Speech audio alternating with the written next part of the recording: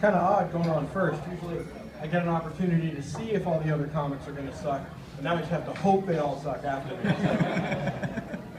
So I, I made a discovery recently that I found very heartening. They did a study and found that 80% of Americans believe in a personal God. So this means an actual deity that takes an interest in people's day-to-day lives. I found that really heartening personally because I learned that I am smarter than 80% of America. And that's really good information to have. so if we've got any, any Republicans out here, I think Fox News has finally sort of shown their hand. Because I was reading an article on their site the other day, and they said, as an expletive, what the Obama was he thinking? And I'm like, really? Is that how the code works now? I mean, I know Republicans hate two things, fucking and black people. But you can't just merge the two. It's not going to work with, oh, I really Obamaed my wife last night.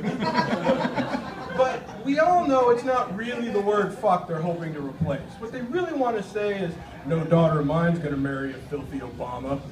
And eventually they might get away with it if we keep letting them slip. So, yeah. So, a famous preacher snake handler died recently. He was, he was on television, and this was in the news. And can anyone guess how he died? Bitten by a rattlesnake. and if you don't know, snake handling is practiced by extreme members of the Pentecostal Church, which is an offshoot of Protestantism.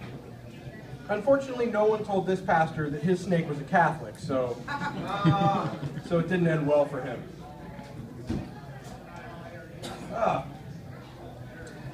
I found that for some odd reason, napping is so much better than sleeping.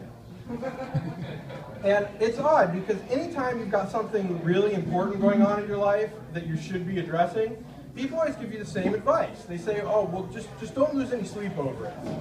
Are you kidding me? It's when there's something I have to do that I sleep like a baby. The middle of the night when there's not shit going on, that's when I can't get my eyes to shut.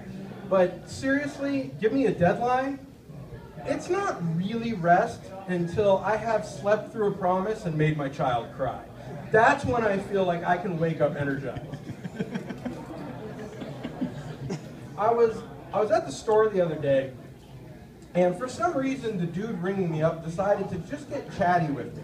And he's like, you know, I've decided this year I'm gonna work really hard to become a good Christian. I'm gonna I'm gonna really focus on being a good person. And I was thinking, okay, good Christian, good person. I don't see what these two things have to do with one another. Because if you've ever read your Bible, at different points in history, good Christians have been kosher with murder, rape, genocide, slavery. And this is what this cat is aspiring to this year. What the fuck did this guy do last year that he has to atone for?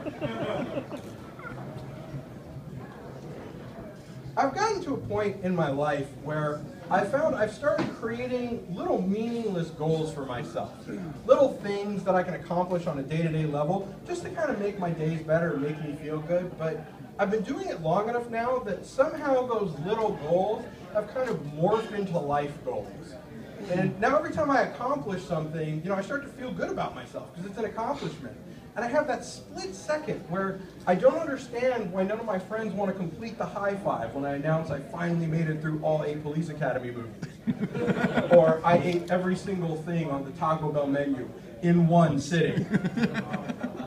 my wife will get home and she'll be like, Nick, have you been on the couch all weekend? What have you accomplished? And I'm like, honey, do you have any idea how many hours of Law and Order I made it through this weekend? And I don't even want to watch it. It's made it through at that point because that was my weekend's goal. I can't I can't be too harsh on my wife though because we don't share a lot of the same interests, but we both do love Law and Order SVU.